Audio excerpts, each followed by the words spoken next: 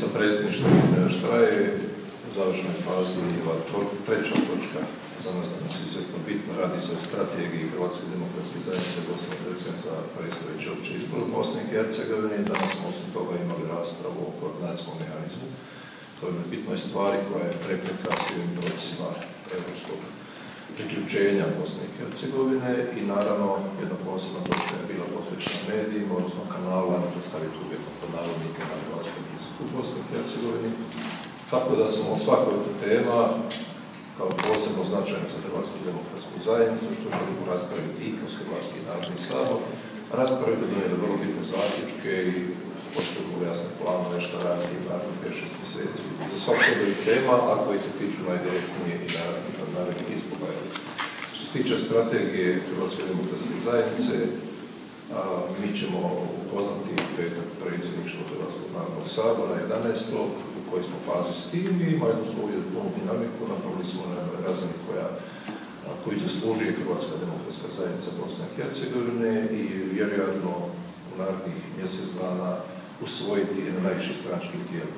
Evo to je bilo najkraće, naravno ima jako puno tema, aktualnosti, sutra se otvara i gospodarski sajam u i puno drugih stvari koje moramo zajedno raditi, jer će biti jako puno gosta, naravno sedam dana, jako mnogo susreta, sutra je susreti HDZ-a i SDA, ovdje u izgradu 5 sati, na mnoge teme koje smo zadnji put pričali, s razine županije, odnosno gradskih tijela i druge stranke i puno toga drugog, ali evo da ja ne pravim uvod, duži od ovo što smo planirali, ja bih radije da vi ono što vas interesuje kroz jutra pitanja po tom pažnju. Predsjedniče, izvolite. Jurci. Gospodin Čuvač, prije nekoliko dana gospodin Brankić je izabran za direktora BHT-a. Po medijima naravno se piše kako je između ostalog i uz vaš blagoslov se taj izbor dogodio. Možete li prokomentirati? I druga stvar je upravo vezana za sutrašnji dan za Aluminij. Čuo sam informaciju da ćete sa gospodinom Josipovićem Izetbegovićem obići Aluminij. Samo želim to provjeriti i malo da prokomentirate ovu situaciju u Aluminiju, pošto vidimo dosta toga da se tamo dešava. Pa evo, prije svega što se tiče prve točke, nažalost, ništa se ne može desiti u ovoj Bosni i Hercegovini ako negdje nestane vode, da nema veze sa Draganom Čovićem. To je tako. Pred čega je tako, evo, možemo si analizirati i nadam se da će se to promijeniti, ali izbor direktora BH televizije povezivati sa mnom na bilo koji način do mene i mog, ne znam, prisustva političkom životu u Bosni i Hercegovini bili nekorektno, neodgovorno prije svega prema gospodinu Brankiću, onda i prema samoj kući gdje on izabran kao tako, tako da ne znam što bi stvarno drugo komentirao, ja mogu samo čestititi po žutu uspjeh da to radi krajnje profesionalno, kako je do sada radio ono što je radio u informativnim programima. Što se tiče druge teme, točno je sutra u Mostaru gospodin Josipović kao predsjednik Republike Hrvatske, on će otvoriti taj sajma, tu je predsjednik, član predsjedništva Bosne i gospodin Zedbegović, naravno i mnogi drugi, gospodin Devanda kao predsjednik vijeća ministara, gospodin Dodik kao predsjednik Republike Srpske, doći gospodin Karamarko kao dio opozicije Republike Hrvatske i mnogi drugi zvaničnici. Što se tiče Arminija, vaša pažnja je pokrenuta na tome, znači ja ne znam da ja posjetu bilo gdje, protokolima toga nema, ali sam sasvim siguran da će se pri obilasku sajma poseban naglasak staviti od dvojice predsjednika, mislim na gospodinu Sitliću i Zadegovića, štandu izlaže gospodarska komora Mostara, gdje i Almin izlaže, koliko ja znam. Dakle, imamo na neki način to na pažnju i tu će se poslati sigurno par poruka, obzirom da Almin je u suvlasništvu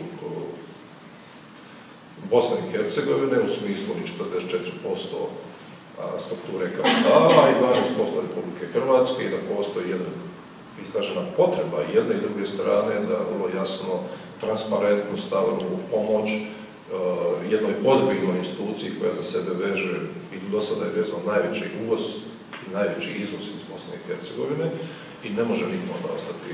Mnogi se jako borili do jučer da dođu do svog vlasništva, mislim na iz Federacije Bosne i Hercegovine, danas imaju izuzetnu odgovornost da upravo pomognu novom menadžmentu kako bi se stabiliziralo stanje, obzirom da je u Arminiju sve što se uvozi, kao što se izvozi burzovna roba i bilo kakvo narušavanje odnosa cijena ili uvozne, uvozne strukture koja je njima nužna ili konkretnog samog tog sirovog aluminija, otežava proizvodnju s posebnim naglasom na električnu energiju i tako dalje, a obzirom da su i javna poduzeća koja se bave isporukom električne energije za aluminij opet u vlasništvu iste strukture, onda bi bilo krajnje neodgovorno zašutiti, zašutiti i tako dalje. Neki mogu se pozivati na neke radnje ili nekorektnost ili neprofesionalnost u radu u aluminiju do sada, pa to tražiti kao izgovor, međutim takvog izgovora nema i za aluminiju se mora stati, aluminiju mora preživjeti, oko aluminija trebaju prestati sve političke igre.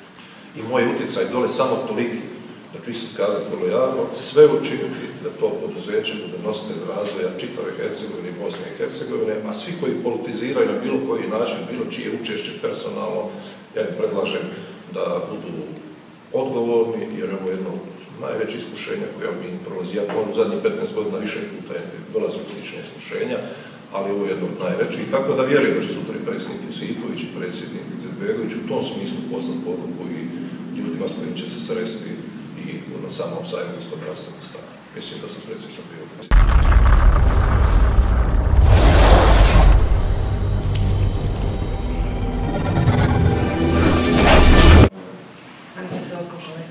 Ja imam dva pitanja. Gospodine Čoviću, kakve su vaše očekivanja za, sutra, e, za susret sa gospodinom Izetbegovićem? Hoće li Mostar biti e, jedan od prioriteta vašeg susreta, ali i za petak i HNS oko zajedničkog nastupa s HDZ-om 90. To je e, jedno pitanje, a drugo Hrvati središnje Bosne, posebice manjih sredina, e, evo u posljednje vrijeme se pitaju kada ćete doći kod njih, zamjeraju što nema posjeta vrha stranke tim manjim sredinama, e, ovaj, nekako se osjećaju zapostavljenim s obzirom da se u Hercegovini dešavaju mnoge stvari.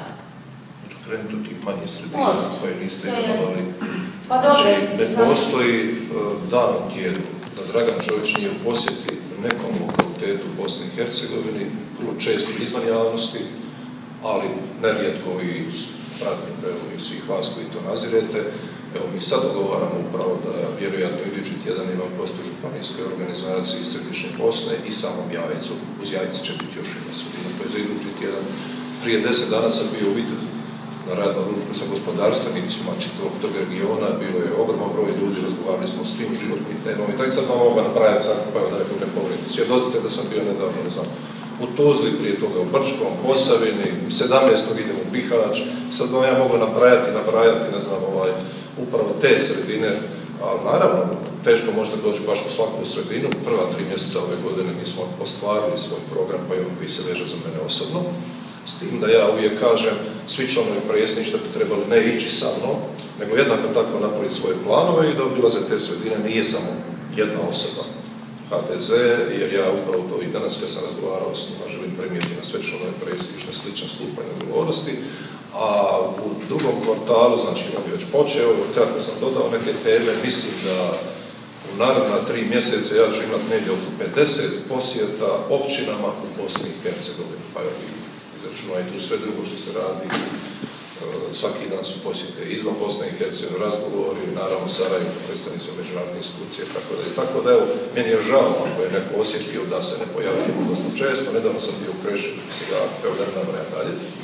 A drugo vaše pitanje se ticalo Gospodina Batira, sutra susreta Ok. s njim i u petak HNS Ok, 90 zajednički nastup. A što se tiče SDA, mi smo u Bosni Kotkom imali nekoliko susreta, mislim da je zadnji put sam na vaše ime znam pitanje gospodina Krešića, ako se ne varam slično odgovorio, i taj susret se des- desit će se. On je razlog zašto mi do sad nismo zakazivali onaj dom naroda, što sam govorio, upravo taj susret, iako ćemo mi u četvrtak imati, u četvrtak 10. travnja imati zajedničku sjednicu zajedničkog kolegija i kolegija Doma naroda, ćemo definirati tu dinamiku i zbog toga je najnužno prije toga organizirati sastanke sa SDA, da ipak to na određen način preuzemo krajnju odgovornost i za grad Mostar i za sve ono što treba ovdje, ne baviti se politikom, meni jasno kampanja je počela i svi će željeti nešto sitno profitirati, optuživati svakoga, HDZ nema takav komotitet, on je stožena stranka Hrvatskog naroda, se mora izdignuti za svi, pa i ja kao predsjednik HDZ-a, baš tako on to ne govori. Što se tiče HNS-a, on je u petak, bilo bi e, nekorektno bilo što danas na tu temu komentirati, znači mi se pripremamo, mislim da ćemo u petak imati sigurno vrlo jasnu odluku oko nastupa HNS-a za idućim izborima, od razine predsjedništva do županijske razine.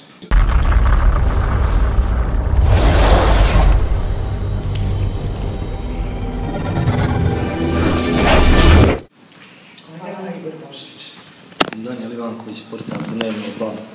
Jedno pitanje koje se baš veze, veže za gospodina Čovića, kada ćete sazvati sjednicu na kojoj će se raspravljati o razrješenju dužnosti ministra sigurnosti Fahrudina Radončića ili naravno njegovog ostanka na toj dužnosti? Pa evo, ako ste malo prije pratili, e, špekuliralo se u posljednje vrijeme samo zato što je to jedna točaka dnevnog reda Doma naroda. Doma naroda bi do sad bio sazvan da smo imali odgovor na odluku Ustavnog suda. Znači, naš, naša jedina obaveza danas u Domu naroda koji moramo na prvoj točci je a, odluku Ustavnog suda staviti na dnevni red, a ona se tiče izmjene Ustava pogledu grada Mostara.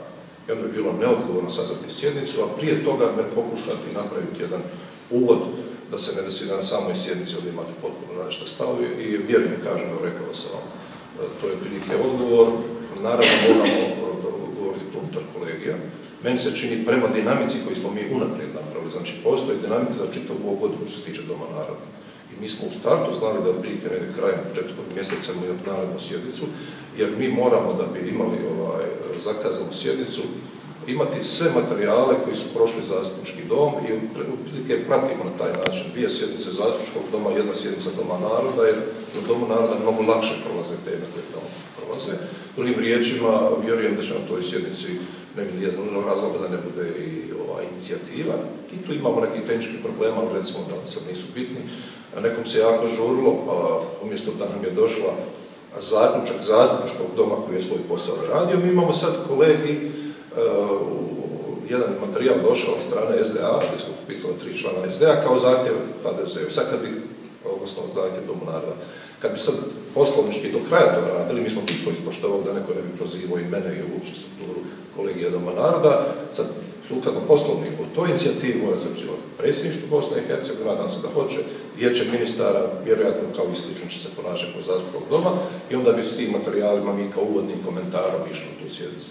Recimo da bi bilo sasvim realno da krajem ovog mjeseca bude ta sjednica sa nekih 30 točaka dnevnog reda, gdje će prva točka sigurno biti ustav, jer to zaslužuje pažnju, ali ne znam koja već kako se dogovori kolegi će biti i ovaj zahtjev. Evo, čisto na nekoliko riječi opširnije o medijima na hrvatskom jeziku. Poznam smo o tom kanalu, je li to opet vaša predivna? Sad imamo jedno pitanje. Evo, može